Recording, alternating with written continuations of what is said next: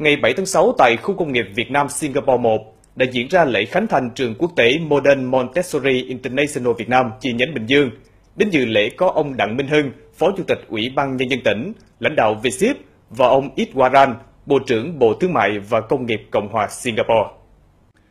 Trường MMI Việt Nam chi nhánh Bình Dương là trường học đầu tiên của tập đoàn MMI tại Việt Nam, được xây dựng trên diện tích khoảng 2.000 m2 với tổng vốn đầu tư khoảng 2 triệu đô la Mỹ.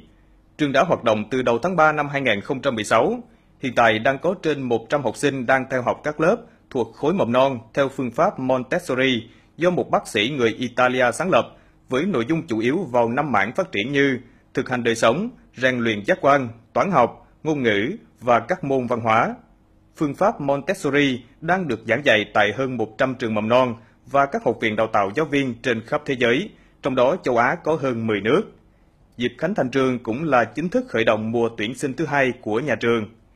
Ông Iswaran, Bộ trưởng Bộ Thương mại và Công nghiệp Cộng hòa Singapore cho rằng, sự phát triển và thành công của trường MMI Việt Nam chi nhánh Bình Dương tại khu công nghiệp v 1 đã đóng góp thêm màu sắc tích cực và tươi đẹp cho mối quan hệ hợp tác giữa Việt Nam và Singapore.